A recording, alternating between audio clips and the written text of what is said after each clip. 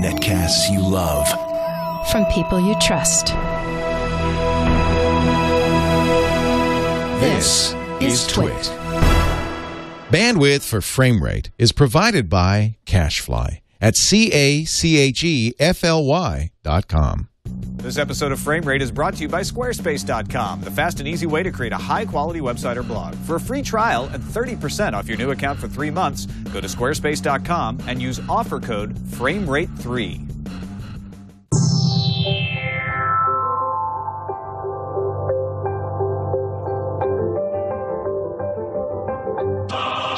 The golden rule. Never let any hint of menace be displayed. The menace must remain phantom. First off, never point your saber towards anyone. You might hurt them. Aim to the side of them. Then, even if your opponent strives to miss you, dodge his blows. You can never be too careful. I recap. Aim to the side. Dodge as a precaution. Aim to the side. Dodge just in case. Squint and aim. Bob down exaggeratedly. Bot your aim. Make a show of your dodge. Aim like a drunkard. Jump like an idiot.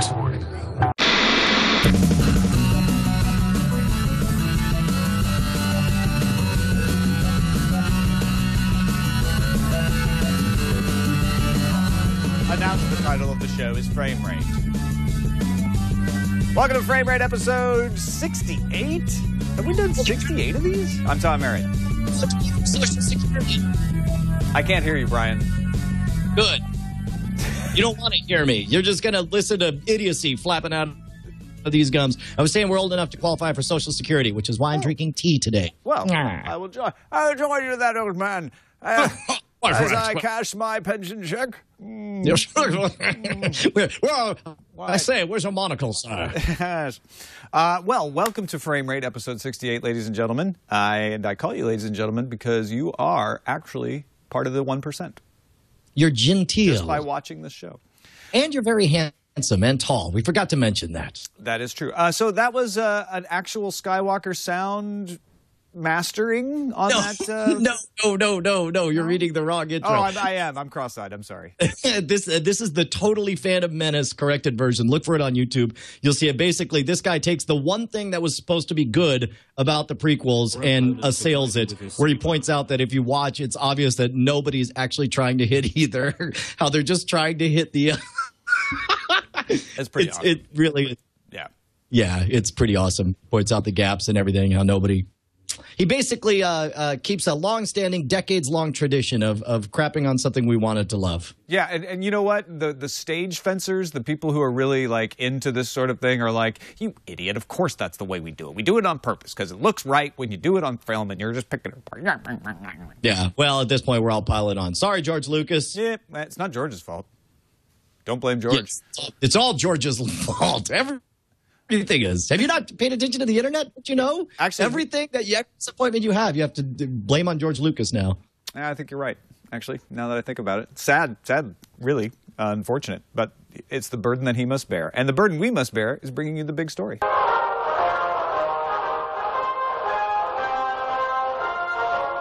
This just in, the big story. I don't know enough about the advertising industry to tell just how huge this is, but it sounds very hopeful to me. I actually emailed Derek Chen, who's kind of our go to guy on advertising issues, and he said he was trying to brush up on it as well. He knows some people who are interested in this, and he said he will send us an email correcting us when we get everything wrong.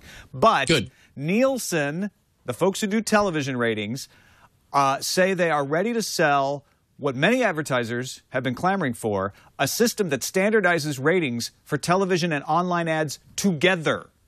Yes. So if I have a campaign where I'm sponsoring show or shows, I can find out how many people saw them not only on the television but on the internet as well. And the big problem up till now is counting the eyeballs differently. When I saw your ad on the computer screen or even over the internet on my television, it was counted differently. Now Nielsen is creating a combination of this. Now, this is something that, that we've been clamoring for for a long time, but I'm afraid it might be a case of be careful what you wish for because whenever whenever we've seen uh, large scale studies, the, the fact is the vast majority of eyeballs still are watching most programming real time on the fat dumb pipes in the traditional broadcast networks. Uh, so I, what I'm hopeful is that they realize that that not only do uh, many more people watch online ads than they had previously thought, but I hope that they see a deeper penetration as far as getting their message across because that's going to attract higher dollar ads to the new media format. But you're right, this is a case where we suspect this is a really good thing for new media because at least it's being considered in the same space. And in fact, if I was going to lay a bet, I'm going to say that this is going to really surprise advertisers and end up being a real boon to online media. Crossing fingers. Well, yeah, my my big hope has been for them to say, look, we don't care if you're watching Fringe on Hulu or watching it on cable. You're watching Fringe, you're seeing our ad, we're going to count you in the ratings. And right. And I, I'm not 100% sure that's what this does, but I'm hoping that's what this does because you want that combination of, of the old media and the new media, that union of the snake that allows us to only watch stuff and not have to worry about where we're watching it. It still counts.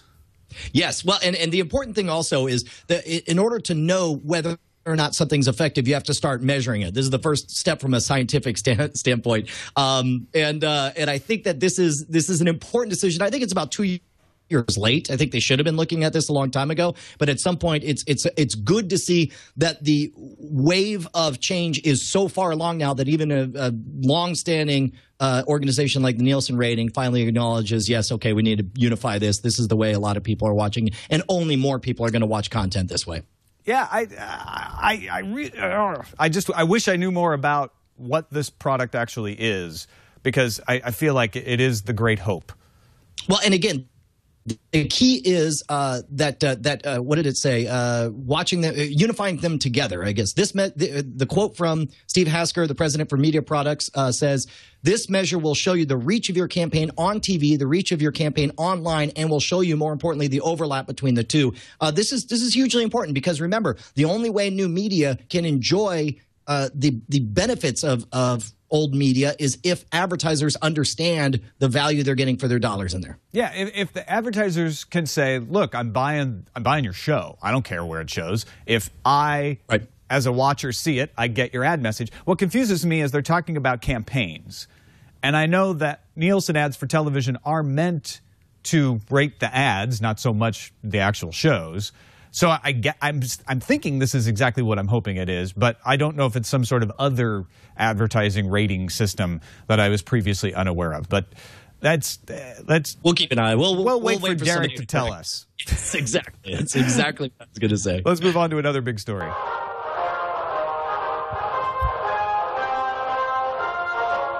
Stop everything. It's another big story.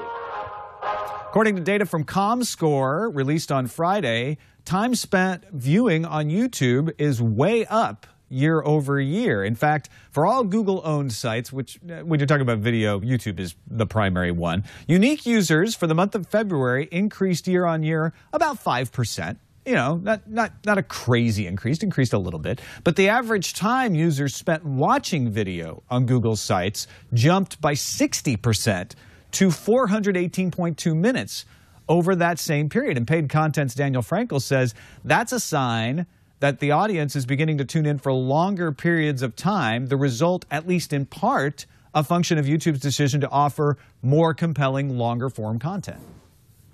I, I, don't know that they can necessarily intuit the one from the other because as I'm reading it, all it's saying is that people are spending more time watching online video. They might still be watching, instead of watching five 60 second clips, maybe they're watching 500 60 second clips. That doesn't necessarily indicate, I, I don't think. I mean, I'm hopeful considering, especially for the programming we're doing here at Twit, for example, I know a substantial amount of our Game On audience watches it on YouTube, and that's that's uh, 45 minutes to an hour long show. So I hope this is correct. I don't know that you can necessarily assume that that's the case, though. Well, YouTube uh, executives say that the site redesign, which directed traffic towards the longer form professional content, uh, uh, uh meant the channel subscriptions are up 50% sub, sub, sub, since December. So I think you can speculate. Obviously, like this is not ironclad, but it seems logical that if you have this sudden 60% jump, what's more likely?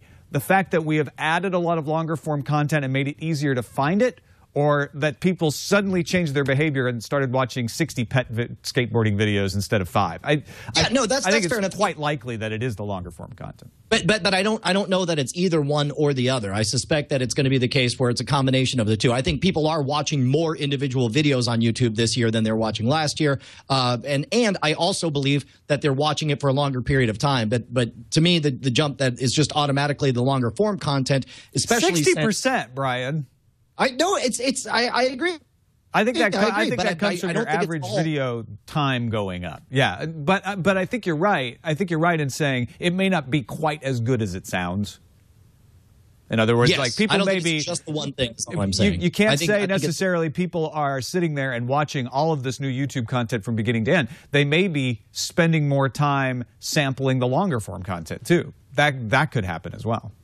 Right. Well, it, it could. Yeah, exactly. It could be that that the same longer. Oh, plus, also, we're pretty young into this long form initiative, aren't we? I mean, outside there's a couple of channels, and I'm sure we'll talk about them. There's a couple of chan- channels that are announced now, but I can't really think of any in the last six months that would that would justify this particular change. Well, yeah, But then again, there's a lot of stuff that happens behind the scenes that I don't know about. Yeah, I mean, obviously, uh, you know, I'm not going to hide the fact that I am part of one of these channels. It was just announced You're over the one of them! I yeah, I, I'm doing a, a video version of the Sword and Laser show on Felicia Day's Geek and Sundry Network. Uh, and one of the things I noticed when we launched is the YouTube interface. While it's it's it makes it easier to find stuff. It, it isn't obvious what are the new channels. Like I'm looking for some of the things that have launched already, and it's kind of hard to find them. It's all mixed together. I would like it to be easier to identify. Like, oh, here's our longer form funded professional content, and here's the Well, but- content but you come also- to know and love.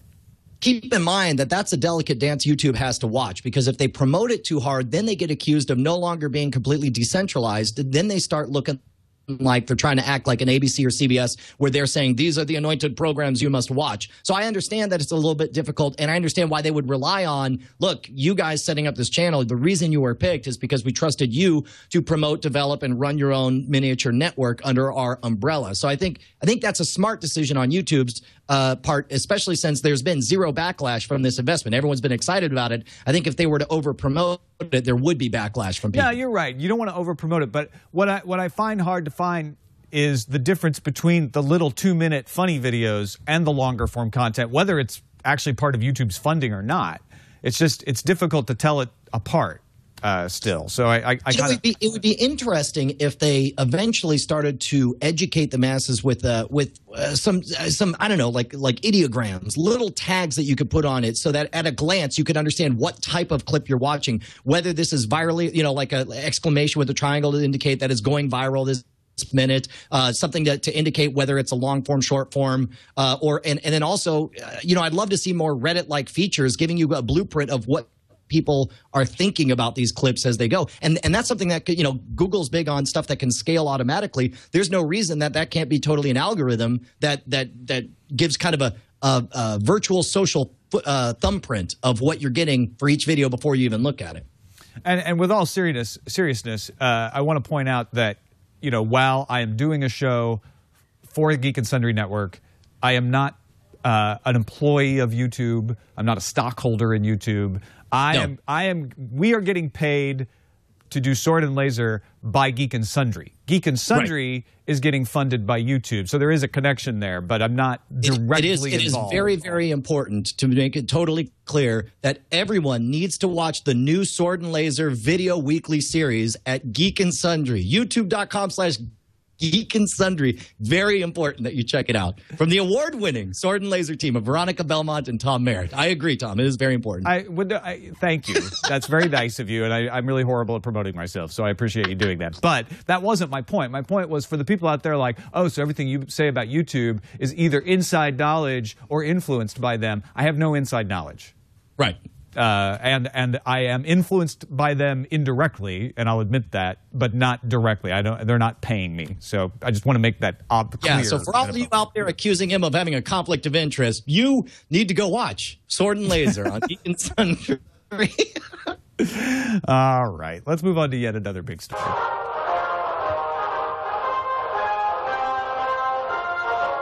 Tuck in your bootstraps. It's yet another big story.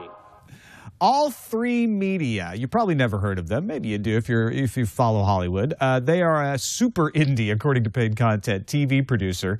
Uh, they have done shows like Skins. Uh, the Only Way is Essex, Midsomer Murders, Derren Brown, Peep Show. Uh, so, you know, some indie hits in there. And they are launching a paid app on the Samsung and LG smart TVs that will deploy 230 hours of television shows from their catalog to the app. So you buy the So- app, you can watch it only on these television shows, but it's it's the first example I've seen anyway. I'm not saying they're the first ones ever to do it, but of a large television producer taking their catalog that they own and saying we're not going to give it to broadcast for syndication, we're not going to give it to cable networks, we're going to put it straight into an app. I think this is a great idea. And part of me wants to roll my eyes and say, in the good old Samsung app marketplace, which is like, I don't even know, I have a Samsung TV, which I assume can install these apps on it. I wouldn't know even how to go about this. I'd be surprised if they get a thousand subscribers on this. I think this is the tiniest toe in the water just to see if anyone hits them as they try to dip farther and farther in. And it's a good baby step, but uh, but man, what a small baby step it is. Uh, I mean, how, do you even know how you would pay for this, or what? Does it even say what it would cost? You know, I don't see the cost listed in any of the articles, uh, It- so they may it not. does have- say that, that payments will be processed by Pay Wizards, and uh, All Three Media's app is produced by Easel.tv. And that's Hey just Wizard about is this. a company, And- and- by the way. Brian's not just making that up. Like there will be wizards. That, that's No, the, that's the name of the service. In case anyone was confused. You have to actually climb a mountain and ask to, to see the content from all three media as the password. Well, All Three Media's commercial director, Andy Taylor, is quoted in the press release saying uh, that the primary business will continue to be the licensed programs to broadcasters, video on demand, Netflix, Hulu, those kind of places. But this will allow them to experiment with different payment models to get closer to the viewers. So I think I think you hit it on the head, Brian. This is a toe in the water saying, you know what? We don't want to threaten this business model that we've been using for a long time, but let's try this out. Let's see how it works. Let's learn from this in a very small arena uh, that won't threaten anything, but will get us a little bit of data and usage and how, how people would use this. Do you think? Uh, I, I think. Uh, which do you think it's more of that they want to learn so that they can make a bigger jump later, or do you think it's just to see if anyone yells at them for, for starting forward with this? It's probably both. They probably want to. They probably want to test the waters in order to get their other partners used to the idea that they're going to do stuff like this, so that they can make it a little bigger next time, and to see how successful it is with the viewers. Well, again, if if nothing else, this indicates that we have a long history with frame rate ahead of us as media slowly merges with uh, with the new opportunities. Yeah, another union of the snake. All right, uh, let's take a break and thank our sponsor, Squarespace.com, the fast and easy way to create a high quality website or blog. I love Squarespace.com. Uh, Never use- heard. Tell I me use- about it. uh, speaking of the Sword and Laser show that you were mentioning earlier, Brian, I use Squarespace for Sword and Laser to uh, to publish our episodes. Uh, in fact, Veronica and I were hastily on our iPads backstage at WonderCon this weekend, typing up the announcement post so that we could post it right before we went on stage, and then all the announcement would be made at the same time. That's amazing, dude. That's that's and and I think that's one of the underappreciated aspects of Squarespace is the ability to use their app not only for making posts while you're remote, or especially imagine if you, whatever website you have right now. Imagine somebody makes an announcement about your hiring or firing or some when news breaks, you want to be able to respond instantly. And with a lot of uh, other services, you can't do that, especially if you're actually you know HTMLing on your own site, which is like, wow, what's it like back there in 1999? But uh, for me, the thing I dig about it is whenever something went viral uh, on on Shwood.com, this uh, letter exchange teller tweeted out this letter exchange between the two of us, and it just exploded, which means I got all these comments, and also all of a sudden I realized like, man, there's a lot of spam comments, and I was really embarrassed. I was able to go in and eliminate all the spam from my comments using the Squarespace app. And if you're out there saying like, I don't want to have to use some iOS app, well, they've got Android apps, and the apps have the same features. So it's across platforms, phones, tablets. Uh, you, uh, they've added Google's complete web font library recently. I didn't realize that. 300 fonts now Yeah. fully integrated. And they've got great design templates. Uh, as we've talked about before, it's the best way to make your site look good uh, if if you're tone blind or, or design blind like I am. Uh, but you can also get in there if you if you're good at design and tweak the CSS. Use their templates as a starting point. So go go there. Import your blog today.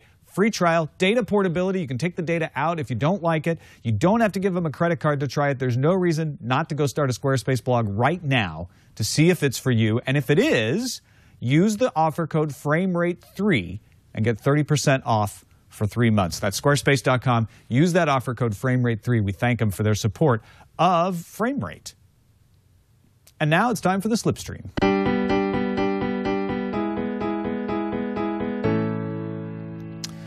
So this was uh, late last week. A bunch of stories came out saying that with the Walmart launch of Ultraviolet, which we talked about last week, where you could bring right. in your DVDs in a basket.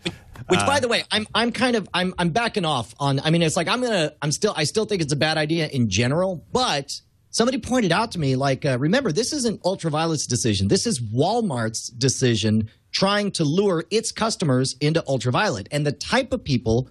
Uh, Walmart's the number one DVD seller in the in, in the United States. And if Walmart calculates that the type of people who aren't very technical, who just want, you know, they they buy their disc, they take it home, like for those people who don't understand all the computery gizmo, maybe this is a good uh, ritual to make them understand. Now you have these movies anywhere you go. So I don't know. I'm I'm actually I'm not. I mean, for for us, I think it's a stupid stupid idea, but Walmart's not dumb, and they're, they sell a lot of DVDs, and if they think it's a important to make people bring in their DVDs, maybe that's that's a good idea. I don't know. I will give you that it is it is not a bad idea to say like it, same way with CDs, right? Where we say like, yeah, you can rip all your CDs yourself in iTunes and store them, but there are services out there where you just give them the, your 500 CDs and they'll rip them for you and give you a drive back, and that's worth it, right? Because it saves you time and it saves you money. And if you're looking at the Walmart thing that way, yeah, it's not time, money, and hassle, uh, then it makes sense but there's another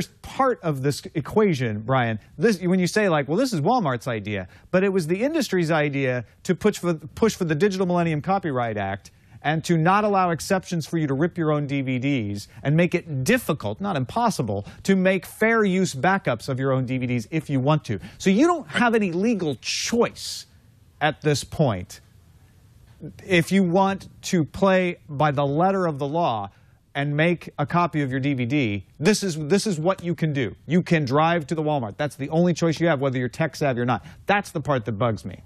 If this was just like, right. hey, you know what, you, you, go, you own your DVDs, you can rip them yourself, that's fine. But if you want to make it easy and be part of this cool ultraviolet thing that makes your, makes your you know, movie a cloud-based thing that you can watch on lots of devices, I'd be all, I'd be all for it, right? I get it. Right. But there is this sort of like, yeah, and by the way, if you did want to do this yourself, that's against the law.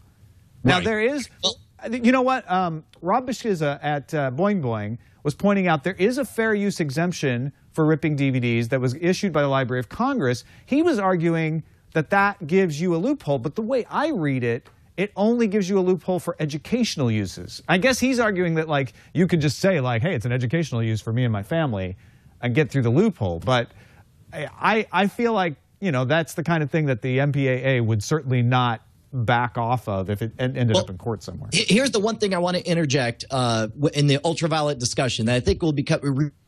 Remember from now on that that ultraviolet is a consortium. It's a, it's a format that is still being determined. They still haven't figured out. Like there's chatter about possibly being able to uh, to to actually loan your ultraviolet copy to someone else and then get it back from you. Some, but all, here's the problem: is they're still developing the format while individual companies try to market the format, even though it's still not fully determined, and they're all trying to figure out their own benefit and takeaway of ultraviolet, and nobody is driving the ship on the PR for this thing. That's why I think it's such a disaster so far. Now, whether or not this means long term it's going to be a disaster, I think still remains to be determined. But at this moment, nobody knows what it is, and everybody's marketing it differently, and it's not even decided yet, which I think uh, short term means there's going to be a lot of confusion. It's going to be a bad plan for the for the short term. Now, on the other side of the coin, the CW has decided to change its delay of streaming versions of its shows from 75 hours to just eight hours after air. To me, eight hours is perfectly reasonable. Say, look, you know what? We'd rather you watch it live. So we're not going to let you watch it online until it's been on the air and it's you know eight hours later, then we're going to let you watch it online. So Vampire Diaries, Gossip Girl, all those shows, if you're into them, you can watch them after eight hours uh, later. So 75 hours was just punitive. That was basically saying never catch up with the show, right, uh, at least by using online. So, question is now, obviously, part of the re- reason the CW does this is because their demographic skews very, very young, and they and they they know that that teenagers are not going to wait seventy five hours or whatever the, the limit was. Well, they found that to Uh, be the and case, so I think. yeah. Yes, exactly. Uh, question: Is this an outlier, and are other companies going to follow suit, or is this just a case where?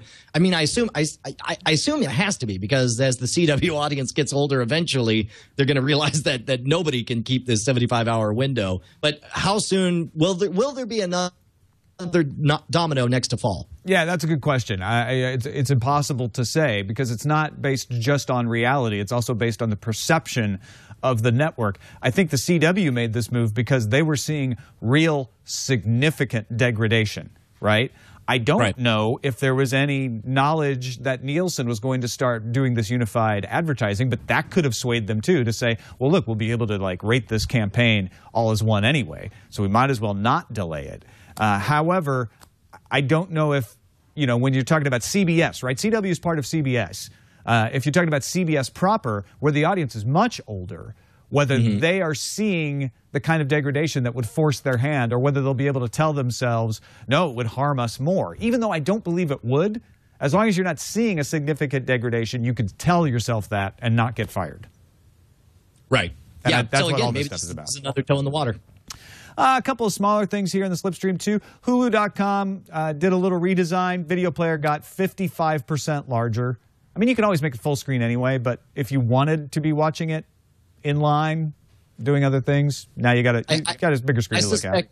I suspect this is a testimony less to Hulu's investment in its play or anything, and more to the uh, the, the permeation of broadband across America, where they feel like they can. Because I assume it's got to be bigger bandwidth to have that bigger player, unless you just want to show more pixels on there. I don't know. Uh, uh, That's a fair question. I it may be the same resolution. I mean, you were already making it full screen, so they had to provide resolution that allowed you to make it full screen.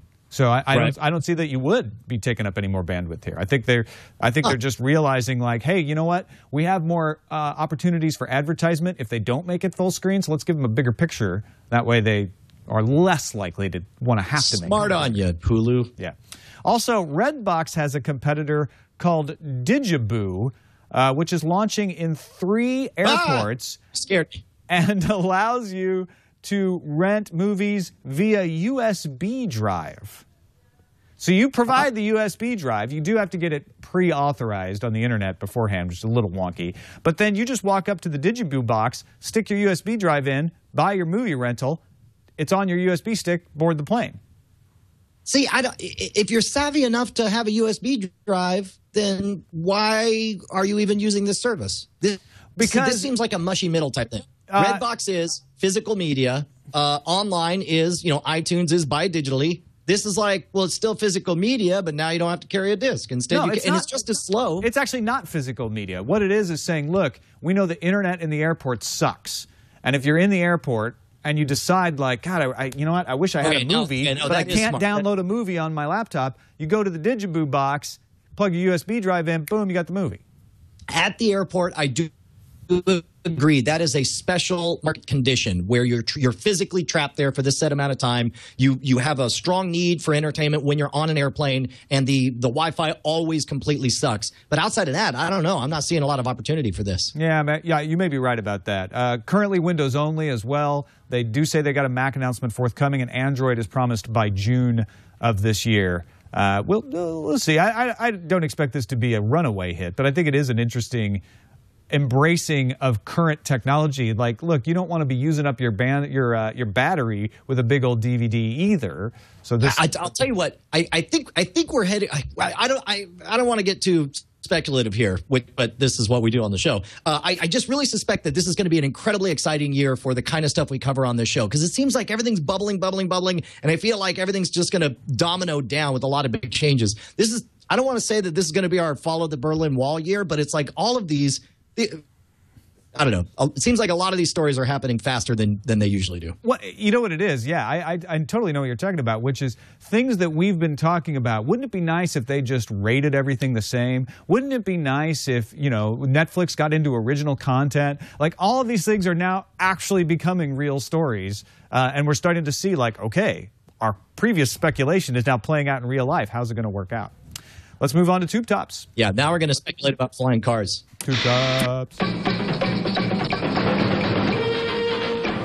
The new flying cars are out. No, uh, Roku. This is a real, real quick one. Uh, those who are fans of Roku, uh, the Roku 2 and the Roku LT players got a version update to 4.3. Uh, a lot of the tweaks are focused on Netflix, so you should see some faster startup time, improved audio and subtitle settings, optimized performance of screen navigation, uh, improved support for that multiple gaming remotes, stuff like that. So, you know, not, not a big speculation story, but something to let people know if they're using the Roku. And then iFixit has torn down the Apple TV, which is what they do. They take new products and they tear them apart, see what's in them.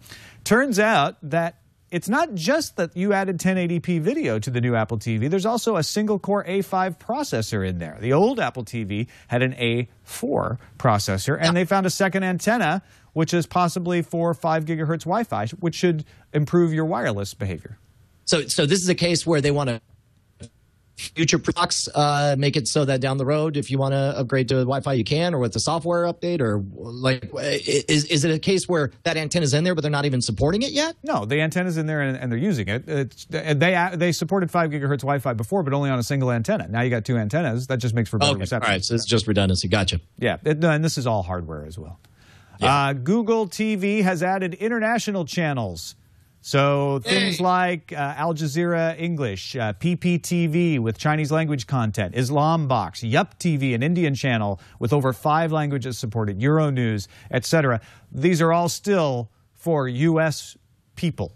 They're, the Google TV is not expanding outside of Baby North America. steps, Tom. It's baby steps. Yeah. And you know what, though? And this is the kind of thing that the early adopters like, though. Al Jazeera's uh, service is very popular with a lot of folks. Uh, it's actually a common tactic of young cable network providers. DirecTV and Dish did this in the early days, which is, hey, we've got the Filipino network, we've Right. got we've got the China, Chinese network, Jade, uh, and you get a, a- a niche audience that is not being served by anybody else. So it's certainly not a bad idea. I'm not sure it's the thing that saves Google TV, but it's significant. Google TV is going to be fine. Look, they're the empire. They're going to keep throwing rocks until something breaks.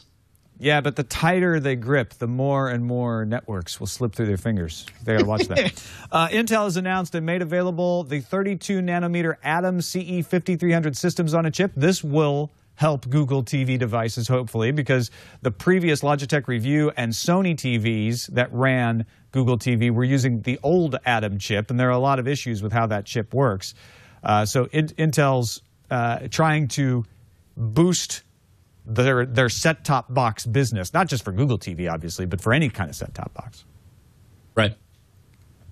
And BBC announced the iPlayer now available on Xbox. Not to everyone, though. yeah, right? you still have to be in the UK, Yeah, all right. but Well, the UK the UK folks will be excited about that. Yeah. Well, I mean, it, it actually it's it is important because this you know they have a huge install base and now you can watch your iPlayer uh, in your living room, which of course you know unless you had a, a media PC, you probably weren't doing before. And Microsoft has filed a patent. Now, there's patents filed all the time. It doesn't mean people will actually implement them, but I found this one particularly interesting. Control based content pricing, enabling content owners to charge users for skipping over ads or watching a replay. Wait, say that again. If a user initiates a navigation control input to advance past an advertisement, the cost of a requested on demand movie may be increased. Oh, what a delightful patent that I'm sure will please consumers. Are you kidding me? You jerks. You know, but here's the th- here's the, before you get mad at Microsoft, it's always easy to get mad at Microsoft. Microsoft says because the company filed for the patent, it doesn't mean that they'll see a product that uses it anytime soon. And if you've learned anything from patent wars over the past few years, it's incumbent on every company to patent as many things as possible so that when they get sued, they can try to find somebody who's violating one of their patents. So just because they figured this out doesn't mean we'll actually see products. And frankly, I can't imagine a product like this ever being successful in the marketplace. Yeah, I agree. However, well, I- maybe it's a preventative measure where it's like if somebody tries to do, it, they're like, "Nope, we have that patent," and Yeah. because we love consumers, we say don't use it. Although remember, uh, recently Yahoo uh, sued Facebook for social network patents, and Andy Baio said, "Hey." Some of those patents were ones I helped create when I worked there, and they told me they were defensive patents, that we were patenting that so that they would never be abused. And now they're suing Facebook with them. So, you know, corporations aren't always the same personality over time. Yeah, sure. Let's move on I to guess film. that's it. Film Fam?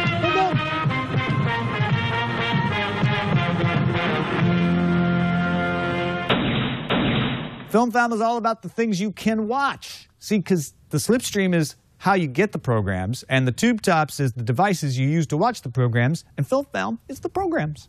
And uh, Joss Whedon says, according to Wired, that we're going to get a new Doctor Horrible sing along blog production this summer.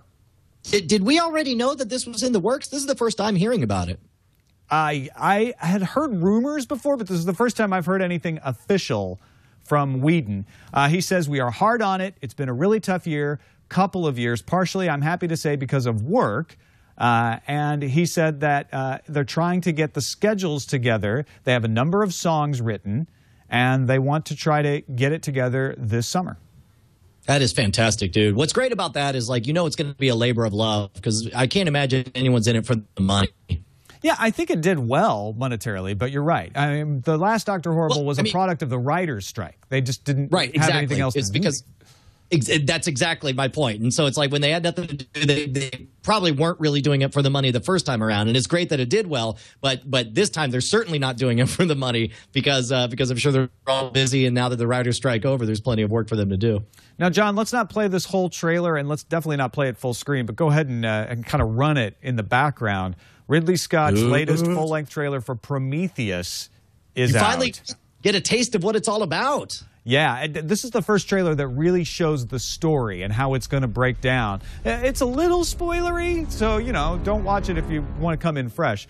But it's the first one that got me more than just like, wow, that looks pretty. It got me excited about the tale they're going to tell here. But think about think about how much enthusiasm they were able to generate with, with telling virtually nothing about the story outside of like Ridley Scott, guy who did Aliens. But this is definitely not Aliens. But we're definitely going to cut it so it looks like Aliens. You know, we were having an argument on Sword and Laser about this. Do you think this is that Ridley Scott when he says, "Oh, this really isn't a prequel; it's just set in the same universe," that he's protesting too much? Because watching this trailer, kind of looks like it's a fairly good setup for what's going to happen in Alien, although it's not a direct No, no. I, think- I think you will not see you will not see more than 30 seconds of a xenomorph. Um, Okay. It's going to be something more like this is this is a precursor race that maybe created the xenomorphs. Or it'll be the most tiny tie-in possible, and it's going to be its own story. I can't. I, I think so. There's also talk of a Tron 3, even though Tron Legacy had its detractors. It was enough of a moneymaker uh, that they're going to do a sequel. And they were at WonderCon promoting, uh, some of the producers were at WonderCon, or Disney, I guess, was at WonderCon, promoting Once Upon a Time uh, and Tron Legacy. Oh, the, the writers, Edward Kitsis and Adam Horowitz, were the ones who told IO9 that hey, yeah, there's going to be maybe a Tron 3, and uh, I don't know, maybe Jeff Bridges would be in it. Uh, because Horowitz said, I would say the definition of life and death in the digital realm, and then Kitsis interrupts him, will be explored in the sequel. Yes. Uh, well, and it makes sense. It makes sense. Uh, by the way, have you seen the the uh, the trailers for the cartoon that they're doing? It looks really good. Uh uh no, I haven't. Yeah, check that out. Go look at uh, the Tron Tron Legacy cartoon that they're doing. And finally, crowdsourced movie studio creates a sci fi series called New Kind. Yeah, this is like a, this is a cyberpunk anime, uh, I guess live action kind of thing, or it's all all it's all being done. The 3D, the real story here is the quality of the CGI elements. If you scroll down Jammer B, you can kind of play it in the background and take a look at it. This thing, uh, they're doing a little bit of a Kickstarter so that they can cover their costs. But the idea here is that nowadays, kids with a $3,000, $2,000 computer or $3,000 rig have the capability to create Hollywood level CGI effects. And these are people who want to break into the industry. So if there's a crowdsourced project where they can say, hey, you get to work on the work alongside the guy who did textures for the Matrix. You get to work alongside this guy who choreographed parts of the race scene in in you know Star Wars Episode One. That uh, all of a sudden, this is a showcase opportunity for these people, and as a result, for virtually nothing, you're to get a gorgeous. I can't speak to the quality of the content in here, but I do know that that people who are into hardcore cyberpunk anime. They want whatever they can get, and if they could get something that that looks this slick, uh, uh, there's going to be a lot of enthusiasm from the anime community. Well, top tier digital artists, folks who worked on things like Avatar, who worked on things like Hugo, are are pooling their talents with this because they just love the genre. They just want to they they want to make this kind of content. And this is the kind of thing you see examples of this all the time that gives the lie to the idea that our, our laws do not protect us enough to create to enforce creativity. We want to be creative anyway. Copyright yes. laws should be minimally protective, not maximally protective, because we want to create stuff. I, th- this is actually a subgenre that I think might explode, which is the folks who are really pros at doing visual effects, doing set design, doing animatronics, they don't work constantly. They, they're not always on the job. And when they're not on the job, they start fooling around with stuff on their own. The internet, things like Kickstarter, provide them outlets that they never had before. And right. I know plenty of people like this who are saying, you know, I've got my own little project that I kind of work on in my off time that I want to get together and put out there as uh, as an actual movie or as, a, as an actual film that I'm just making myself.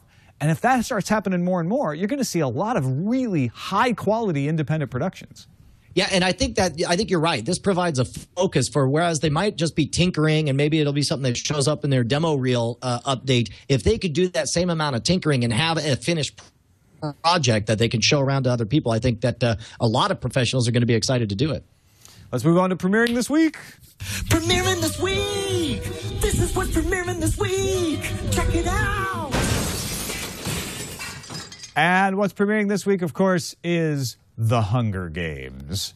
Uh, which now, is uh, mass is going to be a mass. In fact, I'm, I'm sad we're not doing the movie draft already because this is going to be a high dollar movie. Well, you realize it's in the movie draft. We're doing the movie draft tonight, and so this is the oh, first it is? item. Right, it's the first. It's the first item in the movie draft. Oh, it'll, wow. Now that's be, interesting. Okay, so the NSFW show Frame Rate Summer Movie Draft kicks off tonight on NSFW show.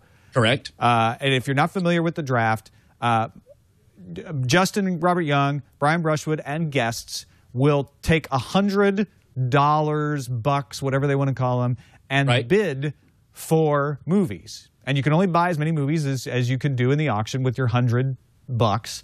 And then you get points for every domestic gross dollar those movies make. And the one who has the most points at the end wins. Correct. Correct. Now, but it doesn't just end there because the number one complaint we get is, oh, I wish I could have played along. So here's the thing: uh, if you are hearing it this week, then either if if you've already missed our bidding, you could go to draft.nsfwshow.com. That's draft.nsfwshow.com and you can see what the six of us paid for all of the movies. And then you can enter your own league. There'll be a link on there that allows you to click. You can buy at the same market rates. You can figure out, like, oh, Brian way overpaid for this, Tom underpaid for this. You can p- figure out which ones are the best bargains, and you compete against all the other members of Chat Realm. Last last time we had over 500 competitors from Chat Realm. There'll be a tight window, and we're going to have to close it before the Hunger Games premieres this Friday. But it's so much fun because all of a sudden you have a dog in the race. You get to follow along with the movies, and you find yourself rooting for movies that you personally hate, but that you hope make a billion dollars so that you can stick it to everyone else. So um, start. It's way way fun. Starting with the Hunger Games uh, this week and going all the way through August seventeenth with The Expendables two and Paranorman. Uh, we will have uh, we'll have a dog in the hunt every week from somebody. It'll be myself, uh, Justin Robert Young, Brian, Veronica Belmont, Sarah Lane, and Scott Johnson in the uh, in the pool Yes. this week, and then you get So to buy based on our bid amounts. So, so, so, uh, obviously, we don't have time to go through all of the movies, but let's go through the highlights. Obviously, the Hunger Games right out of the gates. This is this is the earliest we're ever starting the league because uh, Hunger Games is going to be such a huge hit. Um, also, Wrath of the Titans next week. Now, two years ago when we first did it, the number one purchase in the entire game was Clash of the Titans. I remember. I think Jason got it for. Uh, for twelve dollars, and it ended up making like hundred and thirty million dollars or something like that. It was the biggest bargain in the entire game. We also have uh, Cabin in the Woods, which uh, is a big question mark because that, of course, is the Joss Whedon project. Three Stooges is a known property, but I don't know how much money it's going to make. Do you know anything about Lockout? Uh, no, just that it's kind of a geeky film. Uh, you know, it, at best, it's probably got a chance to be a, a secret or surprise hit, but probably not. Right. Uh, the Raven, the Avengers. Yeah, I think this whole summer is going to be about uh, the Aven- the Avengers versus the Dark Knight. Which of those is going to be the biggest uh, the biggest movie? Well, and here's Uh, the thing: in the past two drafts, we had the winter movie draft. There was a Twilight movie, and in the last summer movie draft, there was a Harry Potter movie. Those were Right. by far and away the biggest grossers. And if you got those, you won. Sarah Lane had Harry Potter; she won. I had Twilight in the winter movie draft; I won.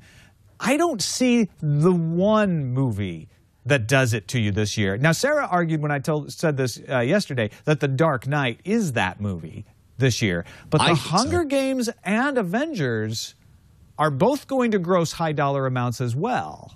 But here's the other thing: look how spread out spread out they are. You've got the Hunger Games in March. Two months later, you got the Avengers. Two months af- two months after that, you have the Dark Knight Rises. There's no reason all of these can't make 300 million apiece. And then you got to fill in with the other stuff. So if the, if if those all make similar amounts of money, then then it's like So okay, well, a who big uh, got Pixar.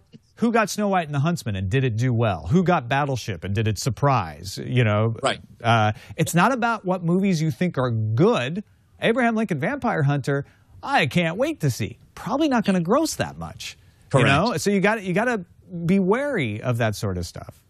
So here's the other. So we got the Avengers is going to be a big one because think about it. The Avengers is essentially either a second or third movie for five different franchises, right? And it's All- uh, how, yeah. talk about being promoted at the end of every one of these movies. There has been a little teaser to the Avengers. I mean, eh, nerds are are dying to see this movie. Yes, exactly. But you also have you've got Men in Black three, which and and uh, sequels tend to do better because we know they're safe bets. They tend to make a, a lot of good money. Men in Black three now uh, it's the third in the franchise, but it's also been a long time since we've had a lot of excitement about Men in Black.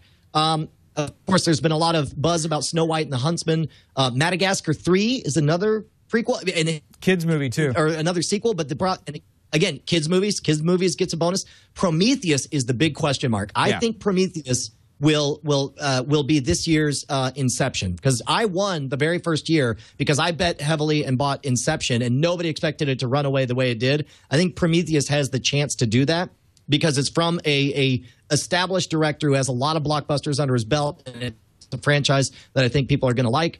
Um, what else? Brave is an, a Pixar movie. Pixar movies tend to do very, very well. And you got a sequel with G.I. Joe Retaliation. I don't know. Does this is a third movie in the franchise? Yeah, I, I mean, I think it makes money, but it's not making huge money. Well, another question mark is the Amazing Spider-Man. Are people going to be tired of the hero movies by the end of the summer when this comes out, July 3rd? Well, it's midsummer, I guess. And it's a reboot. Uh, Yes. You know, uh, so this isn't the Jake Gyllenhaal of Spider-Man.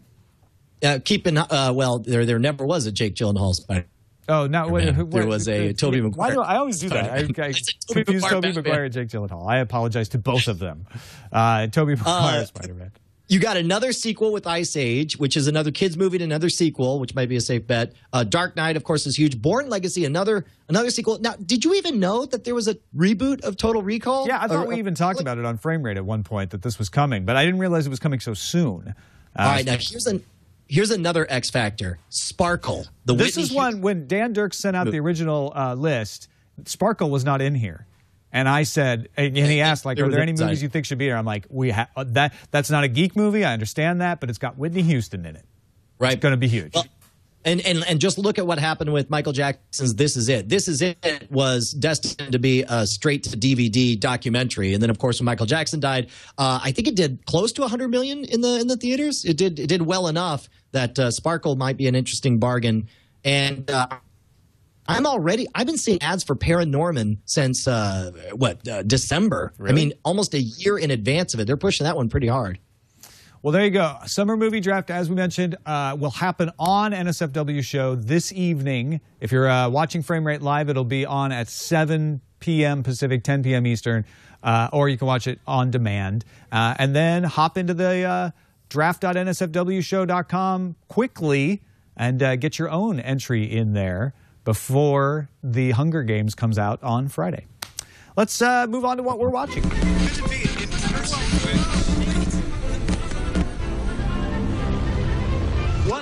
Watching. So I've been watching Being Human. You've been watching The Lorax. That's about covers it, right? Anything else interesting? Uh, nothing else significant or interesting happened this week. So, uh, is it time for feedback? No, I'm teasing. Uh, should, the, the question is, should we hold our Walking Dead discussion to a spoiler zone? yeah, let's take it to the spoiler zone. Stick around after the credits if you want uh, the spoiler zone, and How we'll was talk The about it. Lorax? Uh, you know what? It was very safe, and it was. I felt dirty because um, this is why Hollywood makes so much money on bland properties. Is because you got kids, and it just changes it. It's like I wanted to go see John Carter of Mars. I was excited about it, but I found myself sitting there with stupid glasses on, watching the Lorax in 3D because my daughter wanted to see it, and it was big and colorful, and it was very bland. I found myself weirdly. There's a part where where the Onceler starts selling his th- needs, and he sings this uh, this rock song about how bad he is as a capitalist. And there's part of me like, yeah, man, you are a badass. You got a product that people want. Good on you. And so uh, I don't know. It was it was interesting. It was heavy handed, but I You're all loved hearing- pro-capitalist when you're watching The Lorax. yeah, exactly. I, I did love uh, uh, hearing Danny DeVito as the Lorax because, especially once you've seen what what an awful person he plays on Always Sunny in Philadelphia, it made it all the more hilarious to see him as a sanctimonious environmentalist. Well, I did. I did a lot of catching up this week. We watched uh, The Office. We watched some Thirty Rock. and, You know, we're behind on both those shows. But I, I tell you what, Being Human on the Sci-Fi Network, the American version of it, uh, it's starting to outpace the British version. And I loved the UK Being Human, but this one is more about people being bad. The UK Yeah. version was sort of an allegory for drug addiction and people in the grip of something they couldn't control, and they feel more like victims of their own uh, inner turmoil. Whereas being human, two of the three characters now are just being bad, and they're not victims of their own inner turmoil. They have chosen to be bad, and they're not fighting it, and that is making it much more interesting. And you're wondering, is that third character going to go that way as well? So, uh, highly recommend that as well. Let's move on to feedback. Now I'm it's time for feedback with Brian and Tom on Frame Rate. Oh yeah. That was like a head fake in basketball. I, was, I wasn't even It was a looking. I was like, attack. Oh, and was feedback. not. Uh, yes, we got feedback uh, from Andros, who says, "Dear Pinky and the Brain," and Jason and Tony edit this out. I heard about Danger 5 on Frame Rate. It looked great. I saw the first few episodes and loved it. On Wednesday, I was poking around on an Australian TV website and saw an ad for Danger 5 9:30 p.m. Sundays. Curious, I clicked it and was quite surprised Danger 5 was not a web series. It was a full-blown TV show. It cut up episode 0 and pulled them out as 5-minute YouTube clips before its season began. I'm glad the show got a chance. But I'm now disappointed because as someone not living with kangaroos and didgeridoos, I'm going to have to obtain it. So I think this is a really good, interesting question. Like, like, uh, I, were you disappointed to find out it was a real show? Because there was some part of me that that thought uh, when I first saw it, I'm like, oh, this is delightful. Only on YouTube could this kind of thing happen. Because what could the market for this possibly be? And then I could understand his betrayal, but it shouldn't matter if you're judging it based on its own merit. It shouldn't ma- matter if it came from uh, TV money or came from YouTube money or was an independent program. But I think it does matter, and it shouldn't. You know what? It doesn't matter for your enjoyment of the content. You should still be able to go, you know what, that's great. And good on the Danger 5 guys for making something awesome. Who cares if it was made for TV or web at all? But it is disappointing for me as an example of the rise of web video. It's like, nope, not an example of that at all. In fact, quite the opposite. Yes, exactly. So I we we feel your pain, Andros. Uh, this one comes from Alan in Manchester. He says, I know I won't be the only one to write in and say this, but I actually had to jump back and rewatch a section of Frame Rate 67 when I heard you talking about Misfits on Hulu. From your description, you seem to imply that Misfits is a web based property and that networks considering trying to rework it is a triumph for web video video, but I feel it is important to keep in mind that Mis- Misfits is a Channel 4 property, one of the largest broadcasters in the UK. And while it was originally a cable show, not technically broadcast, it was created by a group that is definitely old media. I think I think we knew that. We're we sorry did. if we gave Th- that. this is not as, as horrible as the previous example. We did know this was Channel 4, but it's similar to Lilyhammer. Lilyhammer Right. was made by a Norwegian broadcast company and is broadcast on television in Norway. Misfits is the same way. It's new to Right. us. And and I think Right. that's just as cool that they're saying, "Hey, this is a television show in this country, but when we bring it to this country, we're going to make it available on Netflix or make it available on Hulu." Traditionally, the only way we would get to see Misfits is if somebody bought it after its release and decided to rebroadcast it in the United States. And so we're very excited that uh, that they're making it directly available to us. And, and and Alan's right for writing in and making us clarify that because I think we did gloss over that. So apology, apologies for that. Uh, finally, oh wait, not quite finally. Uh, Ah, this, this could be fine. JR from Trinidad and Tobago. As you might expect, I am not able to get hold of a lot of online content because of my location. My question is why? I understand that sports is locked or blacked out of a region to encourage people to go to the stadium or shows that depend on ad revenue only showing in the market where they are advertising. However, what is the motivation for a movie studio restricting its movies to particular countries? Wouldn't it be to the movie studio's advantage to sell their movies to the largest audience possible? Please explain. Uh, and the, well, and the answer is they want to make as much money as possible. And people pay for the opportunity to have an exclusive. So it's like they've got to respect that, and they've got to divvy up the regions, and that's that's how they make their money in it. At least that's how I understand it. Tom, do you have Well, any more insight? Uh, that may be part of it. Another part of it is the fact that schedules are different in different parts of the world. Uh, and movie releases are different in different parts of the world because they're more or less popular. So in India, for instance, there are tons of movies coming out every week that we don't ever see in the United States.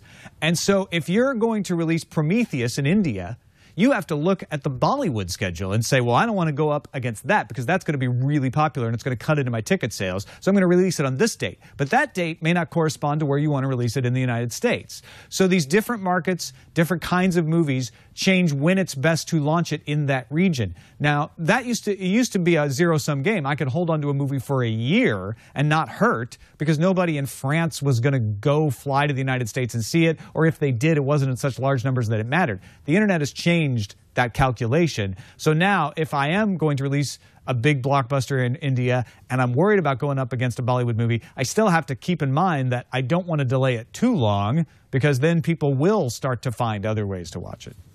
Right, correct. So it's yeah, this is an artifact of a changing landscape, and I'm sure that you w- will continue to hear stories of, of how this changes here on Frame Rate. Um, all right, we're gonna wrap things up and That is Uh, it for spoilers? this episode of Frame Rate, except for the spoiler zone that we'll be doing after the credits. So if you don't want to be spoiled about Walking Dead, you can stop now. Uh, if not, keep listening. FrameRateShow at gmail.com is the place to email us your thoughts and your comments and your criticisms. All of them in one email if you want. We'll see you later.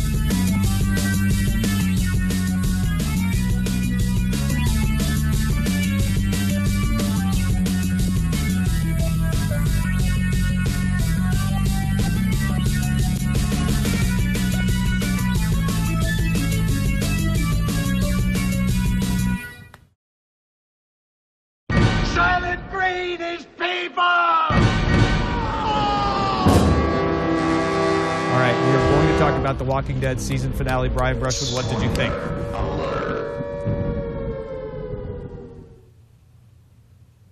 uh, hey, so What'd you, what'd you uh, think? I I think I think I I stick to my guns. Uh, Walking Dead, you get a one season pass on your jumbled mishmash of a season. I'm not holding this against you. I'm going to remain and wait. I think it's very, very telling that the two most exciting elements of this episode were directly were directly getting back on track with the comics. I think it's been a delightful experience so far to say, oh, what if Shane was kept alive? What if this? What if that? But now it's like, what did it change having Shane be alive for that season? Nothing. You just ended up having the same scene, but later in the episode. And as a result, you wasted a whole season sitting around farting and talking and crying on the farm. But when it came down to it, we saw two things. We saw the prison, which they made a big deal about, and we saw Michonne, who looked awesome and badass. My prediction is uh, is that they're going to get a lot closer to following the comic with one change. I'm convinced that they're going to find the prison, but it's going to be occupied by the governor. That's My- interesting. That's interesting thought. I, I agree with you. I didn't have the highs and lows this season that you did, but it was definitely a slow decline all season. And I was cheering. I was up out of my seat when I saw Michonne walk oh, up Oh, because she's one of my favorite characters in the comic book. And I, and Eileen's looking at me like, "What are you so excited about this weird hooded person?" I was like, "No, but you don't understand. Like that's yeah." And then we're seeing her a little earlier than we would in the comic book, and that's awesome. And I like that change. And then when they showed the prison, I was like, "Oh yeah, we're going there next. That is fantastic." Now you, they were still in the prison when they met the governor. So it's quite possible that that stays the same, but that's an interesting thought that he's in the prison as well. That could work. I wouldn't mind that change. Yeah. Uh, I do uh, like the change too that I, I was talking about after I watched this. That Rick has already made uh, a pivot on his his behavior earlier Early. than he does in the book, and I'm fine with that. And in fact, Carl hasn't made quite as dramatic of a pivot as he does in the book. And I'm fine with that because that can lead to something down the road. Because the difference between the show and the comic book, in the comic book, what happens to Shane happens to him much earlier. They're still out camped outside Atlanta. And Rick is sort of bewildered and trying to talk Shane down. And Shane is like, no, this is the way it has to be. And Carl steps in and, out of anger and fear for his father, takes down Shane. In, Right. in the television show, we get a different we get a different take, which is Rick has now turned bad. Not not evil, but Well, like not- not you know bad, what? just- I've got to do this. I'm, I'm fine. I'm, I give in on trying to always do the, the, the 100% right thing. I'm going to do what needs to be done, and I, I'm going to defend it. And, and we see that play out in this last episode when he's justifying it, and they're all looking at him, and he's like, "This is not a democracy anymore." That's something that doesn't come until later in the book. But I, I'm fine. This is a different Rick. You know, this is alternate Rick, and it's an Right. alternate Rick that's interesting, and and it leaves Carl to develop a little slower over time.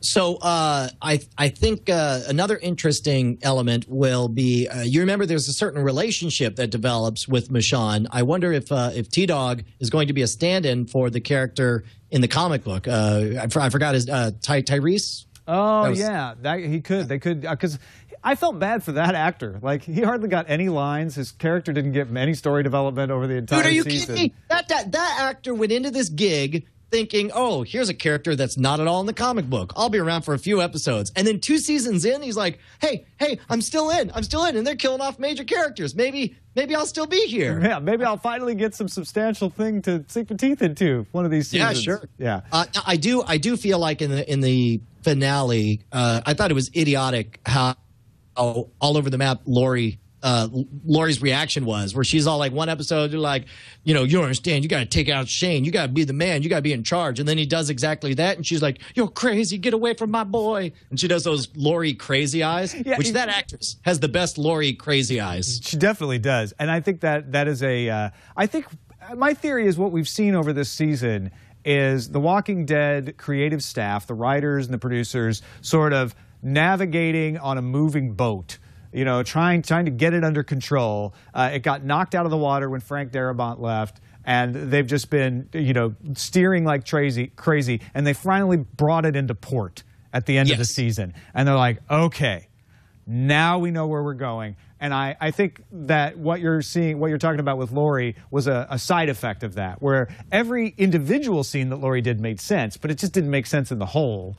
Uh, and, and, and so hopefully that will go away in the next season now that they've, they've kind of settled down a little bit.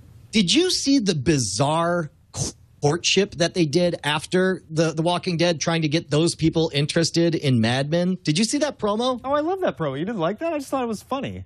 Um, I, I don't know if it was meant to be funny or actually try to court or whatever. It was really odd because it was clearly, I, I don't know if it was an inside joke for people who already loved Mad Men or if it was just like, if it was a serious, like, no, if you like Walking Dead, you'll probably like Mad Men because look, and it does all these Oh, parallels. no, it's a total joke. Having watched all the seasons of Mad Men, uh, it, Yeah. it is not. They're they are making no connection between those two shows.